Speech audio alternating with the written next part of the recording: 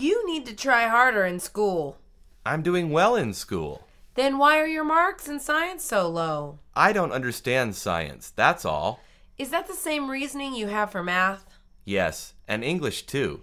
Tell me one single subject you're doing well in. Well, I'm doing wonderfully in my music class.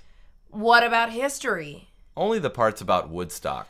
That's it. You're grounded. No guitar for a month. Great. Now I'll surely have a low GPA.